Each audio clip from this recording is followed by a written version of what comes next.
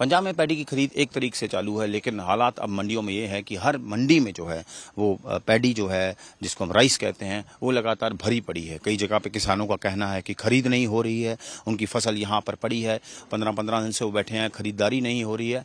और दूसरी बड़ी बात जो है, वो लिफ्टिंग नहीं हो रही है। और आप देख सकते हैं किस तरह जो है, अंबार लगे पड़े हैं, चारों तरफ़ जो है इतनी इतनी बड़ी बोरियाँ जो हैं, धाके हैं, वो लगी हुई हैं, क्योंकि पंजाब सरकार का कहना है कि केंद्र सरकार इसको लिफ्टिंग नहीं कर रहा है, और क्योंकि एफसीआई के जो गोदाम है, वो भरे पड़े हैं पिछले बार की फ़सल से और वो खाली नहीं किए गए। यही कारण है यहाँ मंडियों में जो है, इस तरह की फ़सल जो है पड़ी है। लेकिन ये बड़ी बात है क्योंकि अब दिवाली आने वाली है, फेस्टिवल सीज़न है और किसान जो है, वो मंडियों में परेशान हो रहा है और इस, और चाहे पंजाब सरकार, केंद्र सरकार पर आरोप लगा रही है कि गोदाम उन्होंने खाली नहीं किए, लेकिन अब हालात ये हैं कि यहाँ पर किसान, हम रोपड़ मंडी में मौजूद हैं, किसानों ने कहा हमसे कि 20-20 दिन से हम यहाँ बैठे हैं और खरीद नहीं हो रही और काट भी जो है, वो लगाई जा रही है। आप मंडी में आए हैं रोपड़ में, क्या मुश्किलें आ रही हैं ਮੁਸ਼ਕਲ ਤਾਂ ਮੁਸ਼ਕਲਾਂ ਹੀ ਮੁਸ਼ਕਲਾਂ ਜੀ ਨਾ ਇੱਥੇ ਭਰਤੀ ਹੋ ਰਹੀ ਹੈ ਨਾ ਇੱਥੇ ਬੋਲੀ ਹੋਈ ਹੈ ਨਾ ਚੌ- ਅਸੀਂ 4 ਤਰੀਕ ਦੇ ਬੈਠੇ ਹਾਂ ਇਹ ਲੋਕ 13 10 10 ਤਰੀਕ ਦੇ ਬੈਠੇ ਹੈ ਸਾਰੇ ਚੱਕ ਨਹੀਂ ਹੋ ਰਹੀ ਆ ਦੇਖੋ ਕਿਦਾਂ ਢੇਰ ਲੱਗੇ ਪਏ ਹੈ तो आप अपनी फसल लेकर आए हैं लेकिन खरीद नहीं हो रही ਖਰੀਦ ਨਹੀਂ ਜੀ ਹੋ ਰਹੀ ਹੈਗੀ हाँ।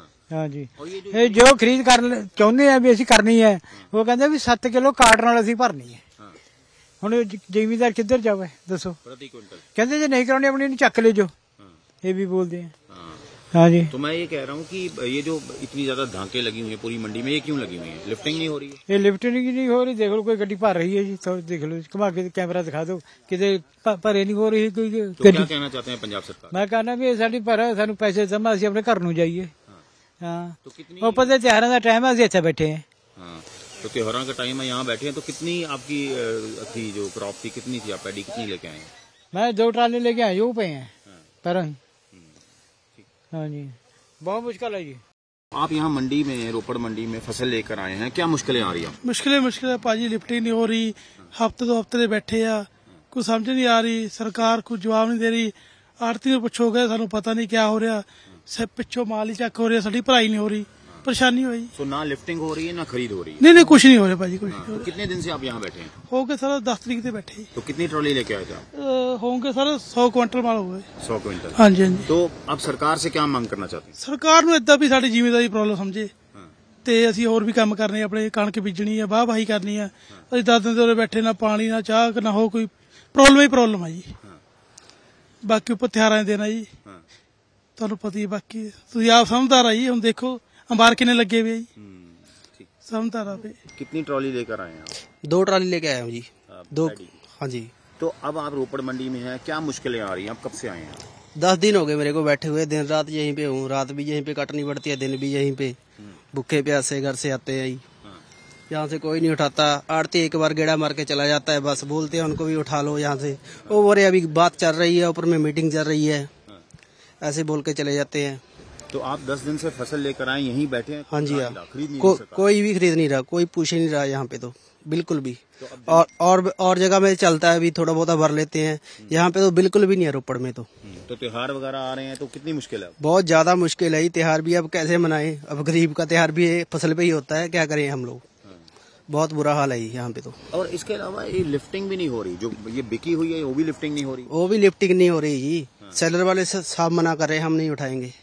आपने जहाँ ले आना वहाँ ले जाओ। आरती को हम बोलते हैं अभी उठाओ कहने आगे वो ही नहीं उठा रहे। आरती और सेलर वाले सभी मिले हुए हैं। अभी हमको रात बोल रहे थे कट लगेगा आपका सात किलो का। एक क्विंटल पे सात किलो हम काट के फिर आपको देंगे।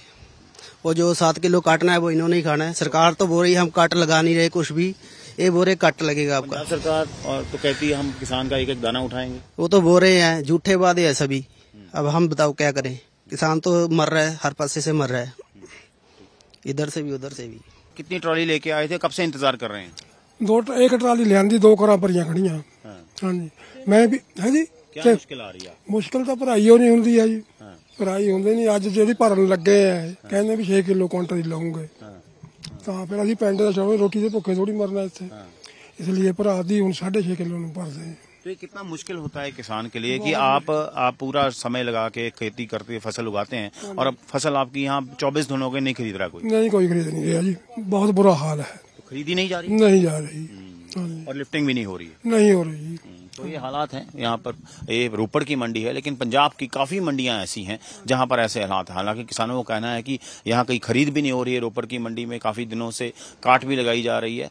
और हालाँकि पंजाब सरकार ये कहती है कि किसानों को पैसे मिल रहे हैं, लेकिन लिफ्टिंग इसलिए नहीं हो रही क्योंकि क्योंकि केंद्र सरकार जो है गोदाम खाली नहीं कर रही है। पंजाब वर्सेज केंद्र की जो जो चल रही है झगड़ा, इसमें किसान जो है पंजाब का वो पिस रहा है। रोपड़ से कैमरा पर्सन अमन के साथ असीम बस्सी आज तक।